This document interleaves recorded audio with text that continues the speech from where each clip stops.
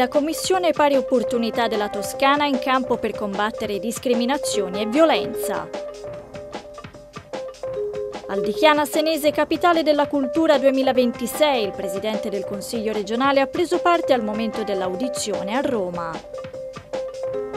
Informazione dal corso organizzato da Corecom, Ordine dei giornalisti e Fondazione ODG la proposta di attualizzare la legge sulla par condicio. Contro discriminazioni e violenza. La lotta alle discriminazioni e la promozione della cultura del rispetto di genere sono stati al centro di un doppio appuntamento a Palazzo del Pegaso promosso dalla Commissione Toscana per le pari opportunità. È stato infatti firmato il protocollo siglato dalla Commissione e il Comitato Interordinistico Insieme per le Professioni, nato nel 2018 per combattere tutte le discriminazioni nel mondo della professione. A illustrarlo tra gli altri la Presidente della Commissione Pari Opportunità Francesca Basanieri e il Presidente del Consiglio regionale Antonio Mazzeo. Oggi qui noi vogliamo dire che tutti insieme possiamo cambiare le politiche pubbliche per sostenere la parità di genere nei luoghi di lavoro. Eh, dicevo prima in conferenza stampa che ogni qualvolta eh, una ragazza che arriva ad un colloquio gli viene chiesto se ha, ha figli o pensa di avere figli e questo cambia la valutazione finché accadrà che soltanto un un caso di questo genere eh, sarà, a, accadrà, ognuno di noi deve sentirsi responsabile. Quando dico di cambiare le politiche pubbliche voglio dire prima di tutto cambiare l'approccio culturale che hanno eh, tante e tante, tanti uomini e tante donne che partecipano ancora alla scelta e alla selezione eh, e all'inserimento di donne nel mondo del lavoro. E questa mattina firmiamo un protocollo assieme a tutti gli ordini professionali della Toscana con l'obiettivo di lavorare insieme per costruire una cultura di parità diffusa su tutto il territorio. Grazie alle loro professionalità possiamo costruire iniziative e progetti che siano diffusi appunto su tutto il territorio della Toscana e diano la possibilità di creare e di prevenire qualsiasi forma di violenza, ma anche di costruire un mondo in cui le donne possano essere realizzate soprattutto sul lavoro. Credo che sia molto importante che le professioni si siano messe insieme e abbiano compreso questa, questa necessità. È sicuramente un grande passo avanti. Con il protocollo d'intesa la Commissione regionale per le pari opportunità e il Comitato interordinistico Insieme per le professioni intendono collaborare per individuare percorsi di diffusione della cultura antidiscriminatoria e di destrutturazione degli stereotipi, al fine di prevenire e contrastare ogni tipo di violenza e discriminazione e promuovere le pari opportunità.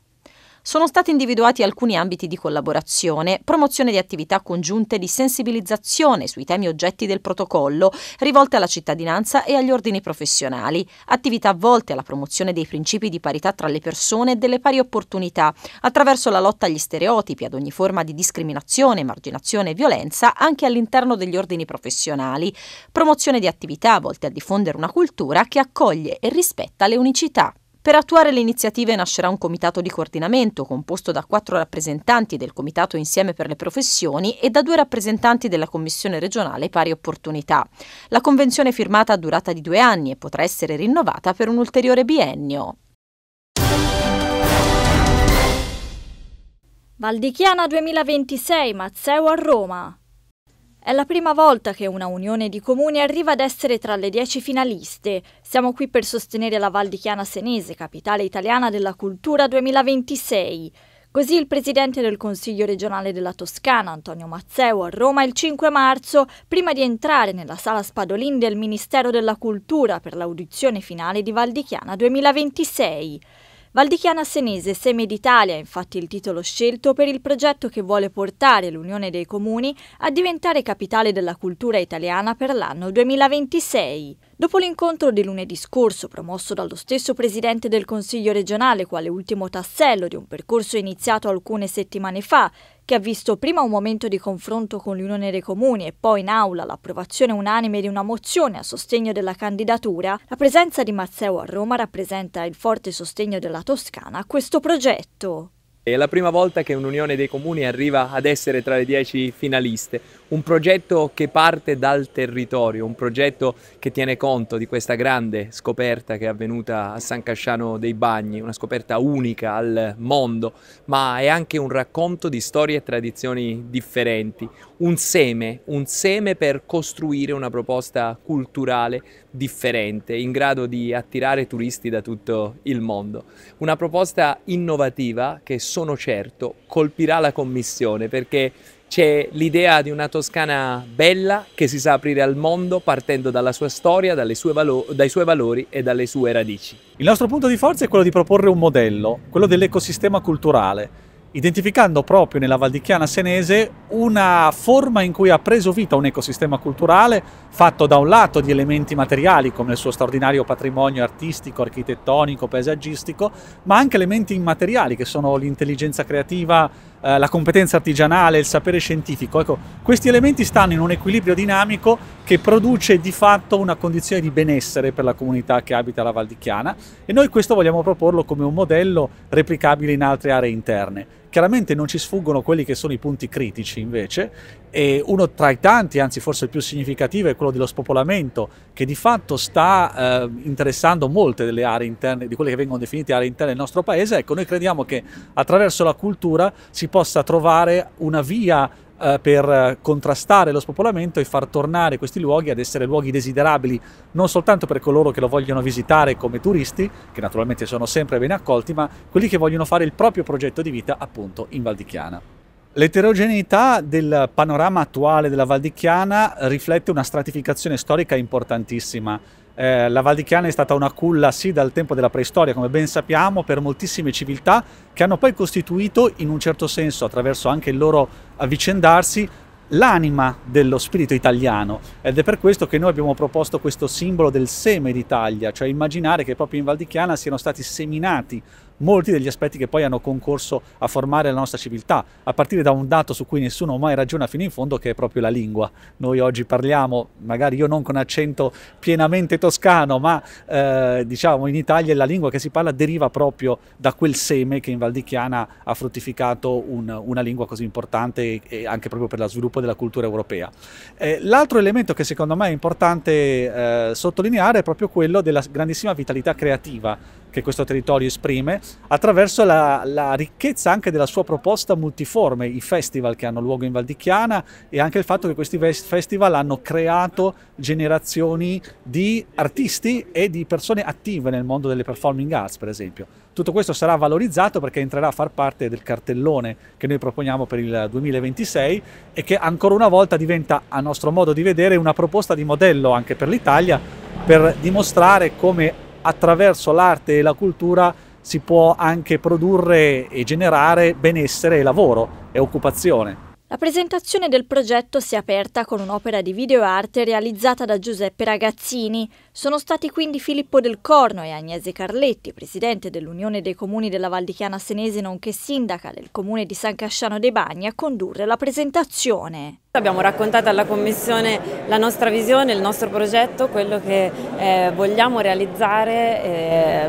nel caso in cui dovessimo diventare capitale italiana della cultura 2026. Eh, è un progetto ambizioso, è un progetto che supera i confini comunali ma che mette a sistema una realtà che già esiste e siamo certi che lo porteremo avanti a prescindere, ma essere capitale italiana della cultura 2026 significherebbe accelerare questo processo che per i nostri territori è fondamentale. Siamo l'unica unione dei comuni eh, arrivata tra le dieci finaliste per la prima volta e credo che questa sia la nostra unicità, il non avere un'immagine unica per rappresentarci, l'abbiamo raccontato bene oggi, ma una molteplicità di immagini che insieme però fanno una grande forza. Videoarte non è un termine che amo moltissimo, ma in realtà si tratta di una metamorfosi pittorica, è una tecnica che io in qualità di eh, illustratore pittore, eh, poi eh, prestato anche all'arte digitale, utilizzo spesso per spettacoli teatrali, eh, performance e spettacoli anche musicali. Si tratta di un flusso di immagini in costante divenire che si trasformano e la nostra delegazione mi ha incaricato di elaborare un video che raccontasse impresa molto complessa ma entusiasmante, eh, la complessità e la bellezza del, del nostro territorio, della Val di Chiana Senese, attraverso appunto una metamorfosi pittorica. Urgente la riforma della par condicio. A pochi mesi dalla prossima tornata elettorale, il presidente del Consiglio regionale Antonio Mazzeo ha invocato una riforma urgente della legge sulla par condicio, ritenuta ormai anacronistica. Il messaggio è stato lanciato in occasione del corso Par condicio e comunicazione istituzionale, indicazioni professionali e buone pratiche, promosso da Ordine dei giornalisti Toscana, Fondazione ODG Toscana e Coricom Toscana, che si è svolta all'auditorium di Palazzo del Pegaso. Il presidente Mazzeo, dopo aver ringraziato gli organizzatori e puntualizzato come la legge abbia la necessità di essere riformata, non solo perché la norma ha superato i vent'anni, ma anche alla luce dei nuovi scenari tecnologici e comunicativi stravolta da web e social, ha proposto di iniziare un lavoro per cambiare la disciplina. Una norma che è quella sulla par condicio, che ormai è una norma molto vecchia, eh, in cui non si tiene conto dell'utilizzo dei social media, cioè la comunicazione classica, quella che voi fate ogni giorno, si ferma nel momento in cui inizia la fase di, di par condicio. Lo stesso non avviene per l'utilizzo dei mezzi moderni di comunicazione. Ecco, io credo che il Parlamento su questo debba agire, vada modificata la norma, eh, vada modificata in funzione del tempo che viviamo. C'è un'informazione eh, che è importante, quella che fa il mondo giornalistico, che serve anche a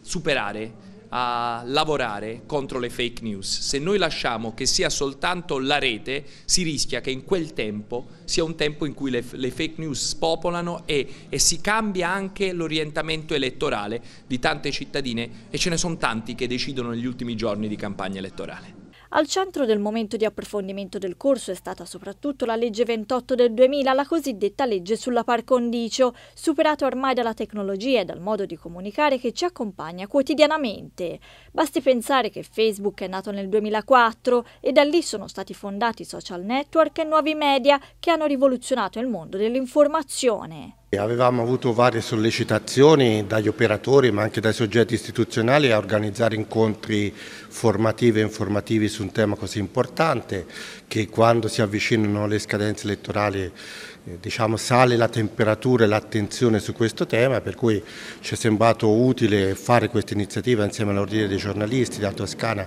che ringraziamo e Acecom che è qui presente con noi questa mattina con la dottoressa Polcaro proprio per dare informazioni, strumenti di, e linee guida per affrontare in modo sereno come storicamente è avvenuto in Toscana e credo anche in gran parte delle regioni. Bisogna affrontarle in modo sereno, ma per affrontarle in modo sereno bisogna essere consapevoli fino in fondo delle regole, delle normative e in questo modo affrontare la campagna elettorale che è, dei, è il massimo momento di espressione della democrazia in modo consapevole e appropriato. Prossimi corsi si terranno a Siena e Grosseto l'11 marzo e a Livorno il 20 marzo, tutti validi anche per la formazione professionale dei giornalisti. Credo che sia arrivato il, il, momento, visto che ci avviciniamo a una tornata elettorale particolarmente delicata, come del resto lo sono sempre state tutte, però diciamo che questa uh, particolarmente abbiamo sentito la necessità di venire incontro ai colleghi eh, facendo e organizzando appunto insieme al, al Corecom che, che, ringrazio gli incontri per fare chiarezza sulle, sulle, regole perché sentiamo parlare di par condicio, altri termini che sono, che, o almeno che dovrebbero essere familiari ma io dico sempre che c'è la necessità comunque di rinfrescare un po' le, le nozioni di base anche se poi dopo ci addentriamo in eh, norme e regole che magari nel corso del tempo dovrebbero essere eh, rinfrescate loro, loro, stesse, considerato che dobbiamo fare conti anche con l'avvento dei social che sono qualcosa di deflagrante per la nostra vita privata e la vita pubblica. Cercheremo appunto in questi tre giorni eh, di illustrare eh, un percorso che possa farci arrivare insieme a, a, sostenere il peso di queste campagne elettorali, fermo restando che in questo momento noi abbiamo anche un quadro europeo molto significativo in movimento con eh, anche una consultazione della Commissione europea che inciderà anche nel nostro eh, regolamento eh, per le europee e, e oggi eh, la stesso Consiglio dell'autorità approverà anche delle FAC sulla comunicazione istituzionale, anche qui per fornire un servizio molto efficace e puntuale per, soprattutto per gli enti locali e pubblica amministrazione in modo tale da orientare in maniera molto positiva eh, le attività che si faranno in questo periodo cosiddetto protetto. Questo significa che è una legge che ormai è datata e che molti avevano quasi la, uh, il desiderio di, eh, così, di, mettere da parte, di accantonare o com comunque ridimensionare, in invece in questa prospettiva più generale eh, del, del, mondo audiovisivo, non dimentichiamo che il nostro Presidente La Sorella è il coordinatore dei servizi digitali, nonché Presidente appunto di tutti i regolatori europei per quanto riguarda eh, appunto queste, questa, questi contenuti, eh, noi abbiamo da offrire insieme al Corecom tantissimo alle istituzioni e per esse intendo non solo quelle pubbliche, ma per me istituzione, cioè ciò che governa poi i territori, sono anche i giornalisti e l'ordine in cui essi appunto sono, sono rappresentati.